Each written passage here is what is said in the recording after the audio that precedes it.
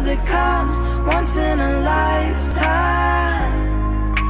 And I'm pretty sure that you are that love of mine. Natsume!